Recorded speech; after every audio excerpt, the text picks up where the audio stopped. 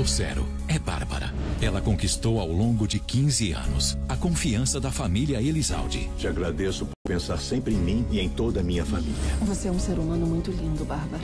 Mas é conhecida pelos outros como a hiena. Assim que se chamam os animais que riem quando matam. Para chegar aonde está, eliminou e neutralizou todas as ameaças. Foi mais fácil do que imaginei.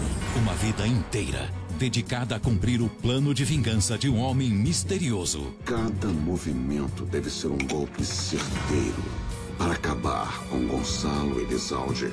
Amanhã é para sempre. De volta dia 29, nas novelas da tarde do SBT.